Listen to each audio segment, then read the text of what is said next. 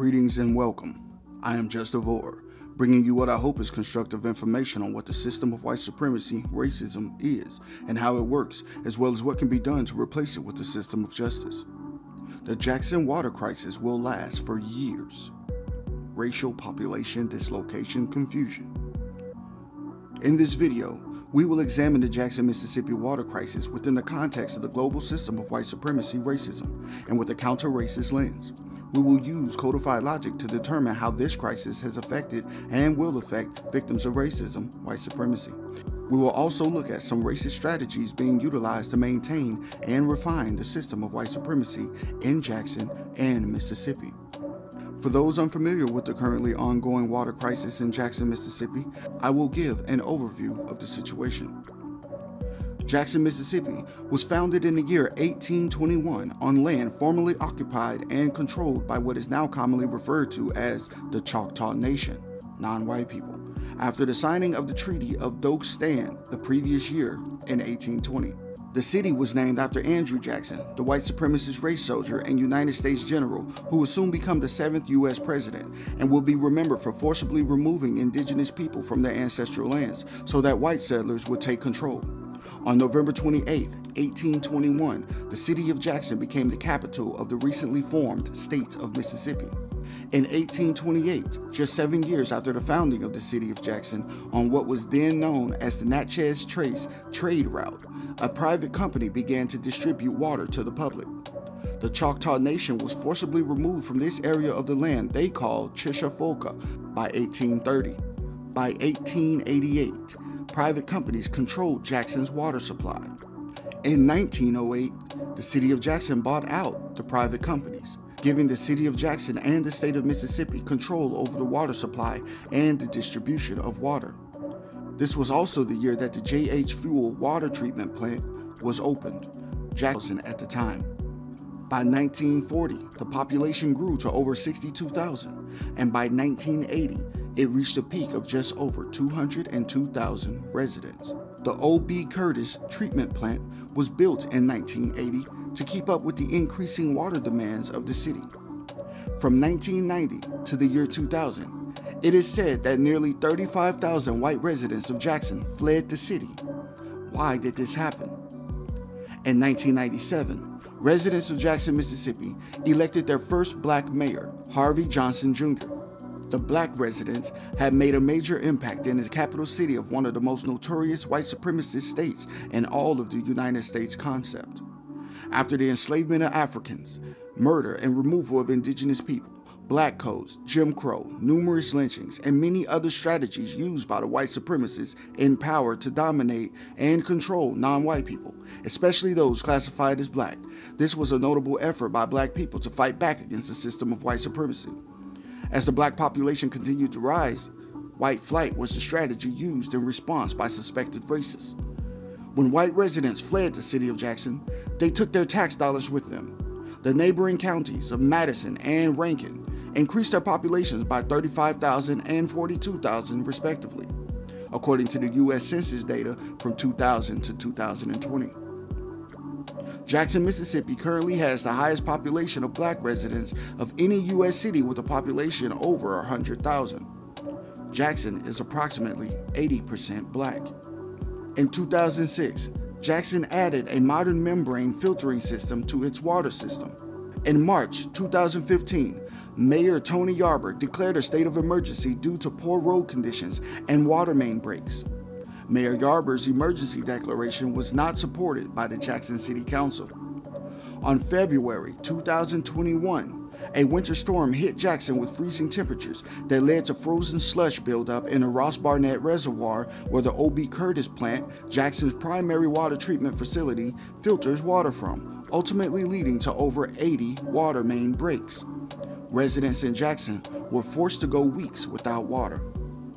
On March 3, 2021, 18 days following the winter storm, it was found that raw water screens at the O.B. Curtis plant were not operating properly because of blockage, resulting in a decrease or lack of water pressure for those residents who were finally able to use some water.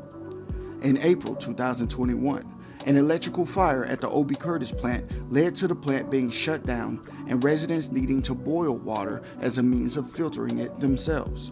By August of 2022, nearly a year and a half later, the effort to restore water levels back to full capacity was devastated by the flooding of the Pearl River, which caused the O.B. Curtis treatment facility, which was then running on backup pumps, to stop treatment efforts indefinitely.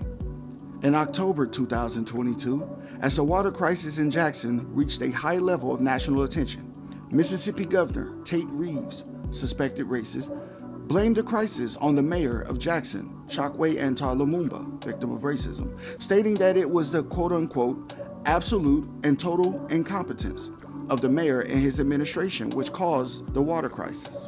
If you are unfamiliar with Chokwe Antar Lumumba, he is the son of Chokwe Lumumba, former Jackson City Council and mayor who passed away in 2014. The senior Lumumba was a member and served as the second vice president of the Republic of New Afrika in the 1970s. The Republic of New Afrika was an organized effort to establish an independent black led nation throughout the southern U.S. states. It moved its headquarters to Jackson after choosing the city to be its capital. The name Lumumba was adopted in honor of Patrice Lumumba, the first elected prime minister of the Democratic Republic of Congo, who was assassinated by suspected white supremacist Belgian government agents. Chokwe Lumumba Sr. and his son, current Jackson Mayor Chokwe Antar Lumumba, elected in June 2017, have an established history of attempting to counter the system of white supremacy. So when the suspected racist governor blamed the mayor and his administration for the water crisis, even though we have covered the struggle mayors prior had in attempting to address problems with Jackson's water systems, it appears that Governor Reeves was using the racist strategy of victim blaming.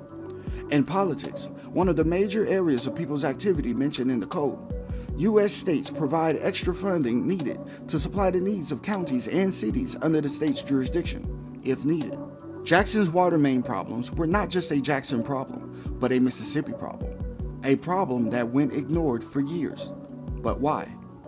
Mind you, the victim blaming strategy worked because in November 2022, the control of the city's water supply was taken away from the mayor and the city council and placed under U.S. federal control.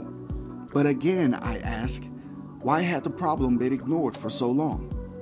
Given the history of white flight, which describes the racist strategy of when people who classify themselves as white relocate when non-white people move into areas they live and or work, taking tax dollars and other resources with them. Starving the area of needed resources that it needs not just to expand, but to simply maintain, often leads to deterioration and dilapidation if the area is unable to get the resources it needs. Eventually, the conditions become so unbearable that the non white people who increasingly occupied the area began to relocate for better survival and living conditions. This strategy is referred to in the Code Book as racial population dislocation confusion. I suspect that this is what has happened and is happening in Jackson, Mississippi. Suspected white supremacists have been withholding from the city of Jackson the resources it had been needing.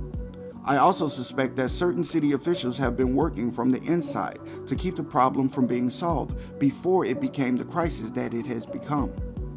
Now that this crisis has become the crisis that it's become, what will become of the black people who make up nearly 80% of Jackson's 150,000 population? Will they now relocate to counties surrounding Hinds County, as those so called white people did who fled in the 1990s and 2000s?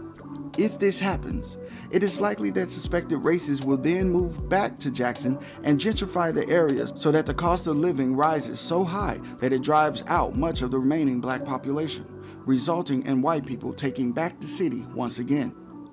But what do I know? I'm just a victim of racism. Just another VOR. What is the likelihood of these racist strategies and tactics bringing about the aforementioned results? At the end of January 2023, it was announced that the water crisis in Jackson would likely have adverse effects for at least another 10 years to come. Sounds a lot like Flint, Michigan, doesn't it? What are your thoughts on how the system of white supremacy plays a role in the water crisis in Jackson, Mississippi? Feel free to leave your questions, comments, and concerns.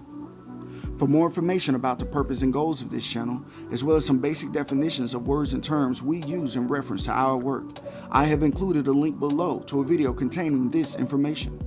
If you would like an even better understanding of the code and how it works, please visit producejustice.com to order the United Independent Compensatory Code System concept by Mr. Neely Fuller Jr.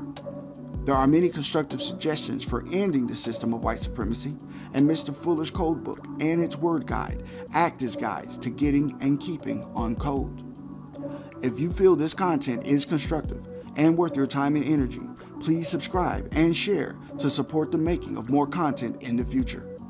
Much appreciation to all the VORs already subscribed.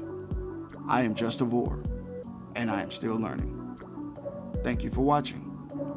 Until next time. Let me say something that gets to the very crux of the matter, and this may be offensive for some to hear who are not on the side that we're on. White people, we have been the problem for 400 yeah. years. Say that again. Let me say it one more time for those of you who didn't hear me. White people, we have been the problem for 400 years.